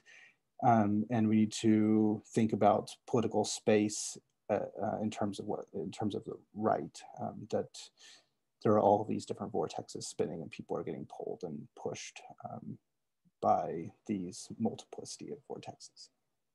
Um, so this so this idea, so if you sort of scratch the surface, and, and Hou Xudong is citing much of this other scholarship too, um, you can build up this very interesting portrait of, of a hundred or more, year, more years worth of scholarship um, that, um, that privileges the private self as actually the key to understanding everything about Chinese political history. So I'm going to be talking about um, Qin Hui and Zhang Taiyan in, in particular because the debate um, or Qin Hui's criticism of Zhang Taiyan is sort of symptomatic of this larger discussion, but you can see these sorts of, this sort of thing showing up um, everywhere. So um, for instance, in Xu Fuguan's Intellectual History of the Western Eastern Han, he says um, specifically that the psychology of despots, past and present, is that um, because they think of the realm as their own personal estate, they feel that politics is the capture of human and material resources for the sake of their own security, wealth, and glory. And they don't feel they bear any responsibilities to the people. Hence, they always look at offices through the lens of power and never through the lens of duty and responsibility. Since they view it through the lens of power, they see the objectification of officialdom as objectified power. So, so any move made within this, um, uh, the argument that Xu Fuguan's making goes is that any move made within the um, within an institution um, can't be um, any claim that's based on virtue or duty or responsibility is actually a claim to power, and that claim to power is a threat to the uh, despot or the ruler. So Wada Sei, um, before Xu Fuguan, Xu Fuguan actually cites this uh, Japanese scholar, says that this, um, this dynamic explains the rippling cycle of Chinese bureaucratic history in which um, the ruler, in which the ruler um, tries to find a way to inhibit the um, independence of the bureaucracy by building up new offices that then um, will eventually become independent themselves and require this cycle to continue. Now, Zhang Taiyan was a um, early 20th century um, proponent of this view, and he's often cited as the originator of this view. Um, because in his Guantong from 1915, which he was working on for many years before this, but the book um, certainly finished by 1915, um, says that um, the ruler hated those who were esteemed and respected because they would impinge on the ruler. And so that's why he would employ favorites and then this cycle would continue. Okay, so, so for, so there are different ways in which this basic idea of selfish suspicion can imply things about the nature of political order or what's possible in Chinese political order. Um, and Zhang Taiyan provides a very interesting um, reading of this because he he leans into it completely. And even in his earlier period where he was um, working with the reformers in the um, in the late Qing, he was still um, a very strong advocate of this idea of du, so this idea of independence, um, which others would criticize as being, you know, the source of the problem um, Taiyan always thought that this was sort of the way out of the problem. So in this early um, 1894 essay called Mingdu, um, Understanding Independence or Understanding, um, yeah, Understanding Independence, uh, there's the, the, the ambiguity of this term is one of the things that's at stake. Um, he sort of explains how independence is key to actually any sort of social co cohesion.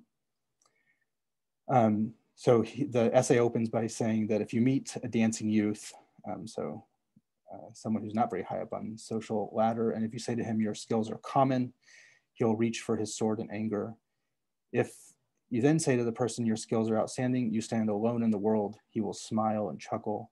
But then you say, when handling affairs of the world, you are incapable of joining with men, you act alone, he will reach for his sword in anger again. So he recognizes that there is this um, even colloquially, co colloquially, there's this tension with the idea of, um, of being independent and being alone, that people want to stand out from the crowd, but they also want to be a part of a group. And so, you know, it's both positive to stand out, but negative to stand out, depending on the context. And Zhang Taiyan is trying to run with this. So he, so he um, says, uh, he basically makes three statements, and this is these are the statements that get him into um, a lot of trouble, according to Qin Hui, um, because Qin Hui thinks that these three statements are typical of the um, Chinese political view and also the problems for all of the institutional rot of the 20th century. Um, but obviously, Zhang Taiyan doesn't think this. Um, Zhang Taiyan says, those who are greatly independent will necessarily join up, and those who do not join up are not independent. So that's sort of interesting. If you if you're actually joining up with people, then you are um, in fact independent. Um, those who are greatly independent will necessarily join up. Groups are necessarily composed of the independent. Qun, uh, qun bi du cheng. And then finally, and this is the thing that um, gets him into trouble in John in Qin Hui's eyes, is that small joining is a thief of great joining. Great independence is the mother of great um, joining. So, so the idea that there are between the um, great individ independent individual, the dadu, and the great um, joining together, the daqun, which later will become the state or the nationality, um, that all these smaller petty um, groupings are um, corrosive of that greater joining.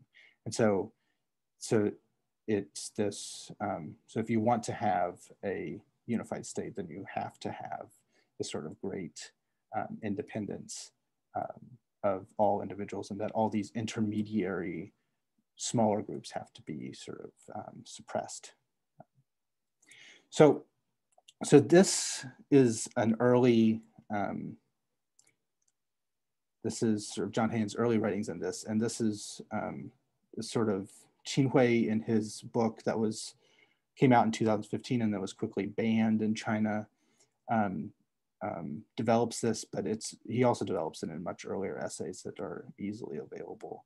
But um, Qin's basic argument, which is repeatedly um, returning to Zhang Taiyan's, is that Zhang Taiyan um, was symptomatic. So I'm going number three first. John Taiyan was symptomatic of the continuing influence of this idea of a big community um, that that that and it's this emphasis on the big community that's actually holding back the um, intellectual progress that was being made by late Qing reformers. So the late Qing reformers were actually um, right in their criticism of the Qing state and that that criticism was lost um, by the, certainly by the May 4th movement um, when the criticism that was rightly directed at the state turned to being directed at these small intermediary groups, including families. Um, and so the, the critique of the imperial state never actually gained um, traction. Um, and this was, in Qin's view, a sort of missed opportunity in the late Qing. So, so Qin Hui and Zhang Taiyan actually, their characterization of what um, the problem is, or what the nature of the Chinese polity is, is identical, but they draw exactly opposite conclusions. Um, so so Qin Hui is for a constitutional republic. Zhang Taiyan is um, adamantly, at least after his imprisonment in the early 20th century, is adamantly opposed to a constitutional republic. Qin Hui is pro-feudal pro and anti-centralization. Zhang Taiyan is anti-feudal and pro-centralization. Um, Hui thinks that radical Chinese equality is the problem. Zhang Taiyan thinks it's the solution to all of China's problems. Qin Hui thinks that Chinese distrust is the problem, and Zhang Taiyan thinks that Chinese distrust of everyone is the solution. Uh, so they're basically batting around the, uh, mm, they're working in the framework that was set up by Liang Qichao, which is what is the exact relationship between um, aristocracy, guizhu, and um, people's rights. So Liang Qichao famously says that um, the West had, the, had an aristocracy, which then became the source for an opposition to the state that preserved people's rights, whereas the lack of Chinese aristocracy um, was the reason why China um, doesn't have people's rights. Trenton, um, sorry, yeah, two more yes. minutes. Okay. Um, so let me skip ahead. So John, Zhang Taiyan, um, he sort of leans into this um, and he says that um, that it's it's suspicion and equality that are the are the keys to why China will avoid the pitfalls of Western parliamentary, what he thinks is Western parliamentary oligarchy and aristocracy. And this is where he turns to um, Nietzsche. And he emphasizes Nietzsche because he sees in the Chinese um, suspicion of others and their radical independence sort of um, Renaissance, Italian Renaissance sort of spirit. Um, and he finds this specifically in, um, I'll move past this um, more quickly. He finds this specifically in the, um, in, in central China, in the areas around the Yangtze River. And he has this wildly interesting passage where he says that um, the, the more clearly one knows people, the more difficult it is to secure a community, which he's going to say is a good thing. If we look at the condition of Chinese people today, they have no other strength except their knowledge of others, zhiren, such that if a powerful man would appear, he would find it easy to join with those beyond the northern passes in Mongolia or amongst the overseas Chinese in the southern seas, because these people are shallow in their understanding and do not know the quickly changing circumstances of interpersonal exchange. From north of the Elbe River to the Great Wall and south of Wuling to the Mount to Mount Ya, it's a bit harder to make people congeal. On the banks of the Yangtze River, people are clever and suspicious, peering into one another's breasts, so that even if a European noble found himself suddenly born into their midst, there'd be no way to bring them together because everything would fall apart the moment they sized him up. So he thinks that it's precisely this notion of suspicion that has to be um, made universal, and that's the way in which the which um, the Chinese state is going to be able to continue the legacy of equality um, that was started in the Qin, um, that um, but also support um, a new idea of a, a, a, a, large state that is governed by rules that um, sort of that that is that's the idea of this idea of rules and laws um, that will actually um, be able to complete what the Qin had started by um, creating a space in which um, this sort of at least a, a, a, a, space set aside from sort of radical um, individualism of these people um, who are suspicious and that they can all agree on laws and that they but nevertheless, there'll be this space outside of the laws where their um, creative um, selves are still able to flourish. Um, so, so, so he draws this. Um, he uses this idea of Chinese individualism and selfishness as a way to reconstruct the possibility of a field and the possibility of institutions, um, even though the premises um, are, are frequently used in certainly modern institutional historiography as the reason why we should escape from that way of thinking about institutions because it implies that there's nothing real about institutions, that there are no, um, that there can be no um, possibility of groups or institutions because those things are illusory and the only thing that um, is real is individual um, suspicion. Um, and so it's, I think the, and sort of to wrap this up quickly, uh, I'll say that you know, this is Zhang Taiyan's thinking on um, the legacy of the Qin and the legacy of centralization um, is an interesting way of thinking about um, how these um, how the how our assumptions about human nature or the nature of um, cultural processes um, relate to institutional history. thanks. Thank you very much, Trenton. And we can have uh, Shao-yun's comment. And I already encourage people would, who are, uh, want to ask questions to uh, start raising their hands so we can start with the discussion after the response. Thank you. Okay, great. Uh, so, you know, I, I, just want to start by saying that there was a lot of great stuff in um, Trenton Wilson's paper that uh, did not come out in the presentation. So, you know, I absolutely enjoyed reading this. Um, you know, I, I love the way it began with the wedge, which was also the beginning of the presentation because it resonates so much with my own conversations with Chinese students at Denison, right? You know, some of them, you know, clearly espouse a kind of conservative elitism that, uh, you know, basically dismisses ordinary Chinese people as not having the ability to practice active democratic citizenship responsibly. So ordinary Chinese people are supposedly too ignorant, too irrational, too gullible to be trusted with freedom of speech and the right to vote. Um, so uh, yeah, I mean that's that's that's really interesting. But you know, unlike the literati of imperial times, uh, you know, it seems to me these students lack both the moral idealism and the courage to criticize a ruler. So they don't desire freedom of speech even for themselves, let alone for um, ordinary folks. Um, but uh, let, let, me move on to uh, Zhang Taiyan. Right. So uh, you know, uh, uh, Dr. Wilson's fascinating analysis of Zhang Taiyan's ideas about individualism and equality. Right. Um, uh, has really enriched my understanding of Zhang's political thought, right? Uh, so I, I recently read Peter Zarrow's book After Empire, The Conceptual Transformation of Chinese State um, for a class on Chinese political culture that I'm teaching at Denison, or that I taught last semester actually at Denison. Uh, so Peter Zarrow's book was published 10 years ago. Um, and I'm, I'm going to quote a passage of it because I think it, it's kind of relevant to understanding Zhang Taiyan's skepticism uh, or distrust toward um, constitutional republican government. right? So Zarrow writes, uh, you know, and here I quote, insofar as Zhang thought well of democracy, it was as a form of egalitarianism. But Zhang sharply expressed his skepticism towards republican institutions. He derided the very notion of representation and was more attracted to something like Rousseau's general will. He attacked parliaments on the grounds that elections would merely confirm the present day corruption of local power holders.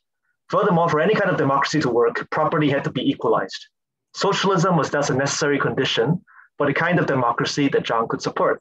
Zhang seems to have regarded socialist egalitarianism and state ownership of resources and industry as the sole guarantee that uh, democratic institutions would not increase the gaps between rich and poor, rulers and ruled. Uh, and you know, I, will jump on to a little later on in the in the same uh, part of the book. Uh, constitutionalism, Zhang distrusted. Right, he distrusted distrusted constitutionalism both because it seemed a way to maintain the Manchu sovereignty over China, so you know constitutional monarchy, monarchy in this case, and because republican institutions were a means by which vested private interests entrenched themselves. So constitutionalism was a little more than a disguise for feudalism, Fengjian. But uh, you know, to Zhang Taiyan's mind, it, from his reading of history, China had abandoned the Fengjian system 2,000 years earlier. So why would we want to go back to that? So under these circumstances, constitu- constitutionalism would simply augment the powers already held by local power holders, especially without top-down measures to ensure that property was held equally.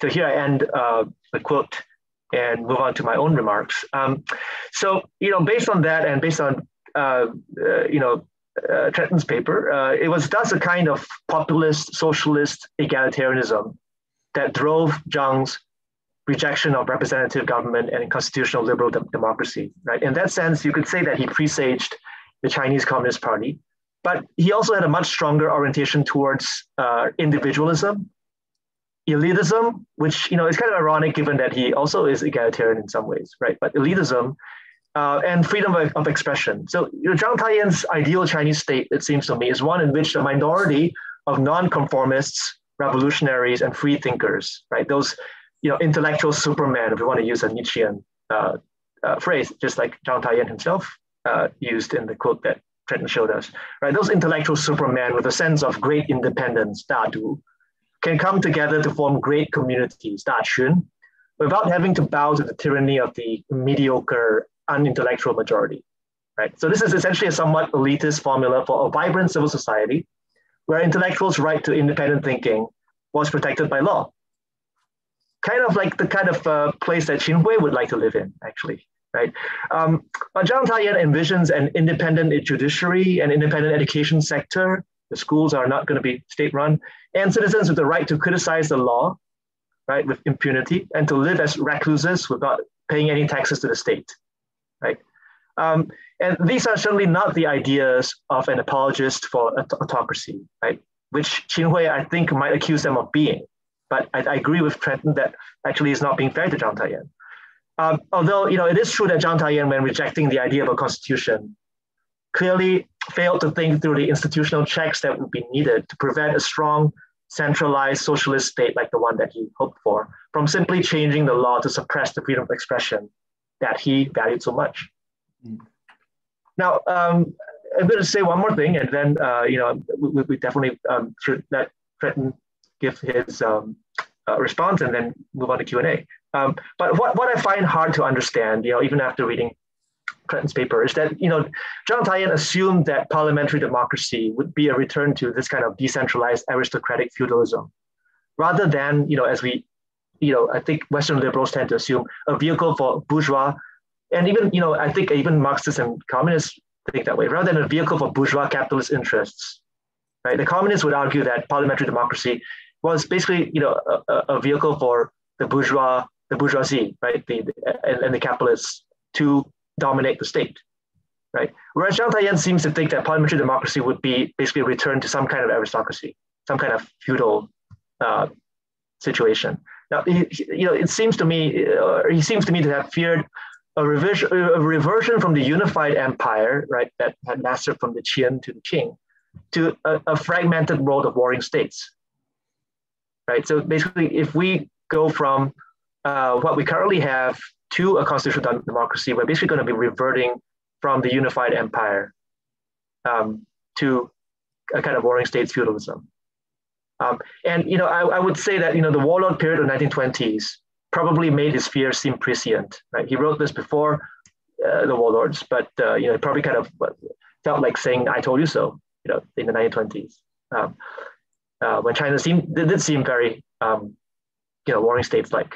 But you know, Qin Hui, Qin Hui, uh, in his assessment of uh, Zhang Taiyan um, and his you know own liberalism, clearly thinks differently. Uh, Hui sees the Qin unification as a tragic triumph of autocratic statism over what he believes to have been the original independent and critical spirit of Confucianism. Mm. So I wonder if this reflects a major difference between Chinese modernizers of the early 20th century, uh, among whom I guess we can include Zhang Taiyan, and the Chinese liberals of today in that the modernizers of the early 20th century saw Confucianism as the villain in China's failure to achieve modernity. Whereas the liberals, the Chinese liberals of today, like Qin tend to see the legacy of legalism as the true villain behind China's failure to achieve democracy, right? albeit a legalism that has long been hidden behind a Confucian facade. Right? But it's not Confucianism that is the culprit, uh, so to speak, but it's really the legalism hiding behind um, this facade of Confucianism so yeah, I, I, will end here, and uh, you know, I, I would love to hear more from from the audience. Um, yeah, I mean, for this for the sake of time, I don't want to say too much more because I think that um, has has said it all. um, um, in the sense that that I mean, that is the I mean, that is very much, especially the last comment you made. That is very much the the situation in which um, Qin Hui or that's the way that Qin Hui wishes to position himself is that, you know, that there was this. I mean, he says that uh, I mean, his I his uh, heroes are, according to him, the fanfa zhiru, so the the the ru of the late Qing who were opposed to the fa. Um, so the scholars who were opposed to the state and to legalism, and especially those scholars. I mean, he one of the one of the fascinating things about reading his writings is that he uses a lot of of um, sort of incidental diary writings. You know, people who had traveled abroad as emissaries for the Qing, who are you know discovering in in England and in Paris and in other places in the U.S. the um, you know they were writing things like you know we we we we arrived here in Paris and we discovered that they're living like the three dynasties. you know they're living like the San Dai, and so you know, for for Qin Hui, he thinks that this is a real missed opportunity because um, you know there was this moment where there wasn't an opposition between Western and Chinese culture. That there was this sort of possibility. I mean, for him, a missed opportunity where um, where there was a fusion of ideals. It was as if these people recognized finally that um, you know we were all aimed at the same thing, and that he sees the May Fourth movement as a betrayal of that possibility because by turning inwards against the um, Chinese family and these other sort of what he thinks are robust Chinese institutions, um, even though Zhang Taiyan would disagree with that assessment. Um, he um, he sees the the route to the present. Um, and so I don't think that I don't want to cast him as a naive reader of Zhang Taiyan because I think that he's not. I think that he just sees in Zhang Taiyan a symptom of the Chinese tradition um, that can't escape from this um, this you know this legacy of the Qin, and that can't even look seriously at the ideals of Confucius, because because the uh, the the Qin ideal is too powerful. Um, and this is I mean this is very interesting, especially in um, I think in light of um, discussion yesterday about the legacy of legalism in Chinese tradition as well. So anyway, I'll leave it at that.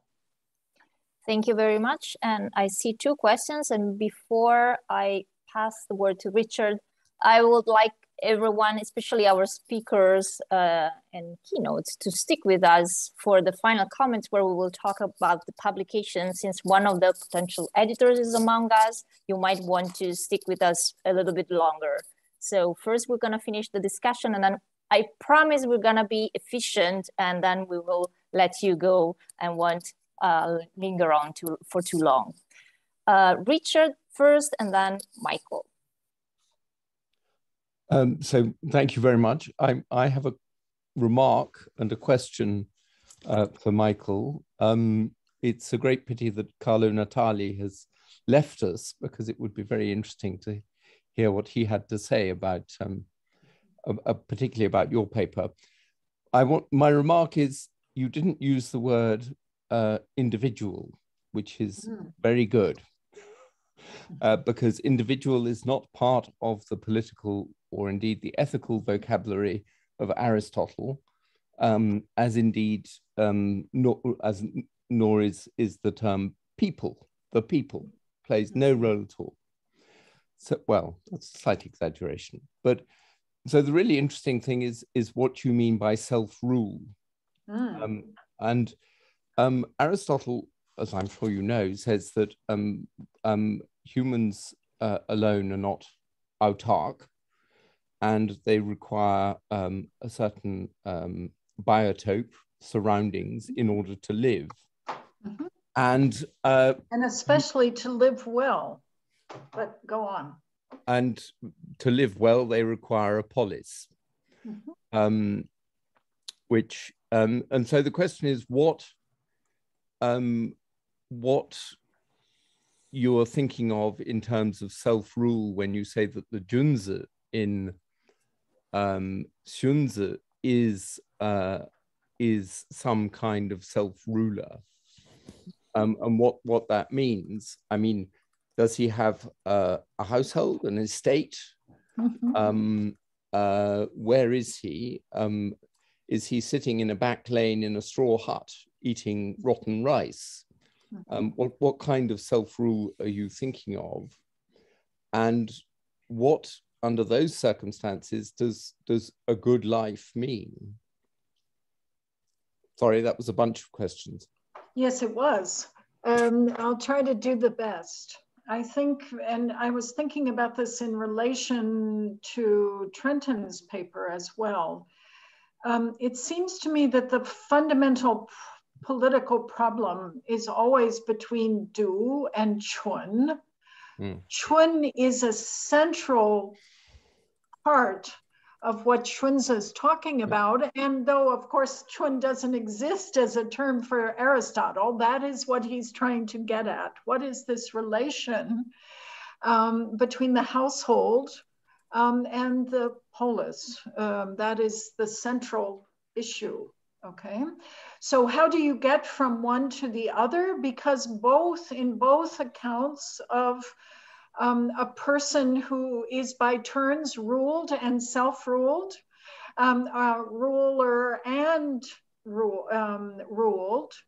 Um, and that's Aristotle's description of the citizen. That would work very well in Xunzi. There are constraints on you, you are ruled by things, um, but rational deliberation will allow you um, to the degree that it's humanly possible. And that's one reason I like both Aristotle and Xunzi. They always add these qualifications to the degree it's politically possible, um, humanly possible. Hmm. Um, um, uh, they are trying to imagine what it would take to have a flourishing uh, person and also a flourishing society simultaneously because you can't have one without the other um, they are codependent, as it were. Okay. So one of the things I think that's so interesting about Xunzi um, is that um, he is, as it were, um, allowing for the possibility um, that every single person, Ren, and he says this, from the ruler on down has certain capacities. Okay. Now he realizes by force of circumstance that the farmer in the field may not have time to exercise those capacities. Um, he's by no means unpragmatic. Um, but he believes that that person, if liable to proper societal training, can himself um, um, not only exercise rational deliberation, um, but be engaged in some measure of mobility. okay? Um, so I think that is very important, that that's part of his picture, this up and down picture. And I wanna pull in, I was teaching all day yesterday from dawn to dusk, so I wasn't here yesterday but I wanted to pull in an idea. I've really been thinking hard about Sarah Allan's um, book, Buried Ideas, and the notions of abdication. And I've said this to Sarah, so I think I can say it to all. Um, Sarah ends her book by saying, of course, these ideas couldn't continue into the empire because they would be politically dangerous. And I said, Oh no, they are right on the table always. And why are they right on the table always? Partly because of Xunzi, partly because of ideas ascribed to Confucius when writing the Gongyang, that he has become a shadow king. So, one of our problems when we're talking about comparative political philosophy is people always have in mind these isms. Um, I was reading George Orwell yesterday with my students, um, Politics in the English Language. And what he says is these isms, we don't know what they mean, we fling them around. So people who fling Confucianism or legalism around, damn it, I want to say, well, whom are you, who, whom are you discussing? So I know you're not doing that, but I think that there's a reason why abdication, Xunzi says, um, uh, yield to the worthy. He adopts the Moa slogan that the only people who should ever be in power are the people of worth. And that's why I bring it up. Um, Sarah Allan's excellent book, from which I learned so much, um, because it's a reinforcement, actually, of where these ideas come from. Um, and we see that from excavated and unprovenance manuscripts. So um, I think we have really underplayed um, this notion and a powerful notion in Han Dynasty. Um, um, and Han Dynasty is above all the realm of Xunzi. Mencius is hardly on the radar screen except for Yang Xiong and a very small group of people. Um, so um, it's Xunzi, and Xunzi, it's all about employ the worthy, testing. Um, Michael Loewe just wrote a book on advisors and consultants. It's all about bringing people from the outside and then testing their capacities. That's the whole institutional system of checks and balances in the Han period, in theory, okay? Um, and in practice in many ways, because institutions were set up to do this, okay? Um, whereas I think if we look to the case of Aristotle, we have to say um, that Aristotle is terrified that any political system, no matter how ideal in the beginning, uh, falls apart because of self-interest groups. In fact, he sounds like Xudong. He sounds like Zhang. He sounds like conversations going on in modern China, I think. Um, and, and he spends a long time talking about how each um, uh, kind of constitution will devolve immediately if factions are um, um, of self-interest um, gain the upper hand. Um, so we see both societies trying to put in institutions uh, that will provide checks and balances. Um, but I think in the end, I stand by my gut feeling, and I need to be critiqued by precisely people like you, um, um, Xunzi has a more capacious vision of what is the human potential. Okay. Because uh, we may be born ugly, and anybody who's brought up two year olds knows um, yes, there's a lot of ugliness um, in small children. Um, but in theory, for him, we can all be brought to rational deliberation, which is aesthetically satisfying not only for the person, but for those who see the person. I wish I could say I'm aesthetically satisfying for my students, but anyway, there we are. Thank so, you so long much. Long answer, long answer, sorry. Michael, your, your question, please. Oh, my question, in a way, I folded it into that because um, I think that when we're talking about small groups, um, I think you, Trenton, used the word that they're illusory. Um, I don't think they're illusory. I think they're there's uh, we're getting here the the the very clear language um, inherited, I would say, from Xunzi as to what is a small-minded group, what is a petty group, grouping, um, versus, um, and Ban Gu talks about all this time, what is someone who has a sense of the realm and what the realm needs. Just my gut feeling that this is the language that's being invoked. You know Zhang Taiyan and uh, Hui much better than I do. Um, so I, am just wondering whether this is language that comes to them naturally because this is actually um, Xunzi and Han dynasty all the way down.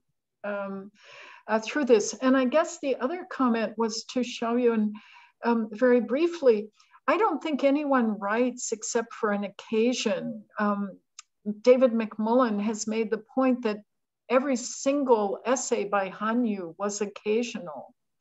Um, meaning it was about the politics of the time, which didn't mean he didn't wanted to participate in larger conversations.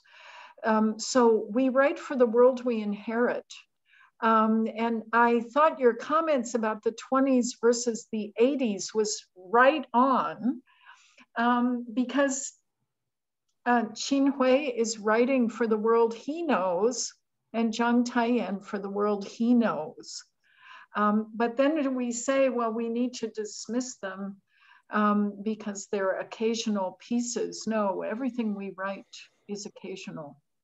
Um, and um, I think, yeah, um, we're more and more aware of that um, every day. Sadly, because of American bad politics, we're more and more aware of that every day. Now I shut up. but anyway.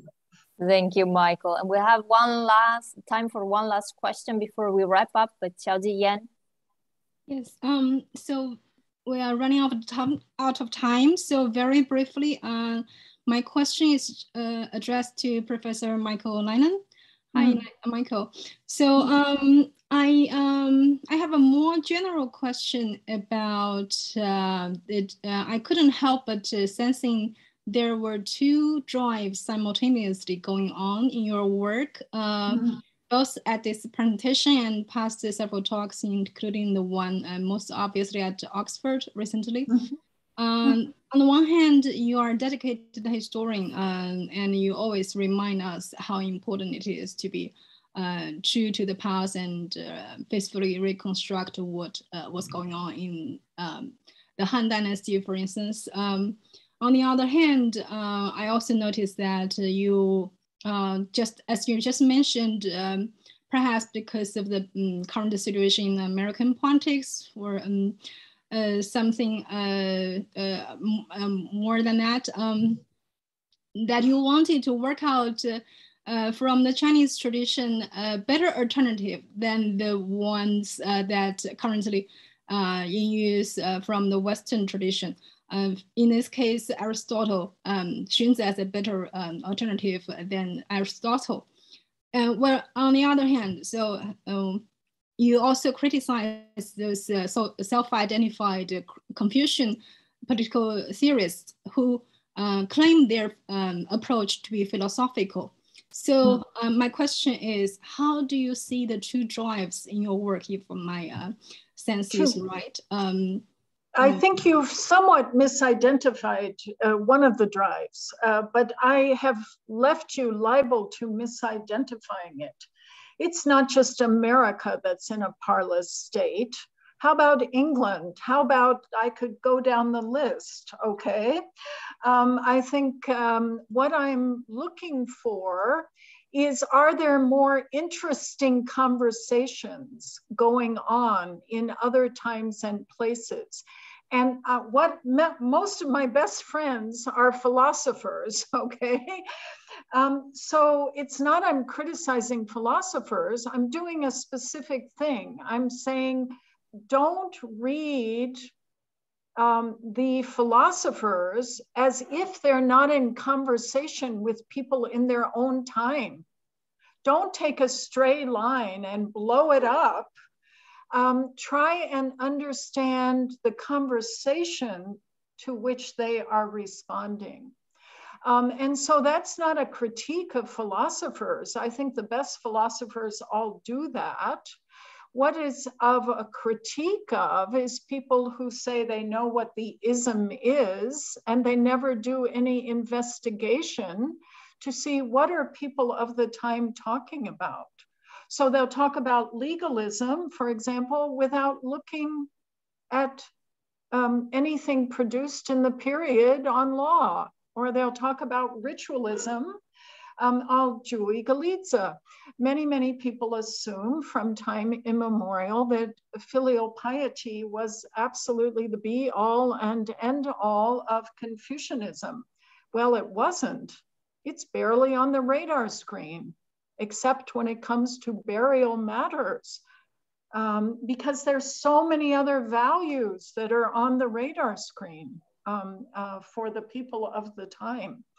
So um, I realized that by Ming chimes, uh, filial piety is not only on the radar screen, but has become almost a pathological, um, in the words of a dear friend of mine, Maram Epstein, who writes on this, obsession um, as the be all and end all virtue.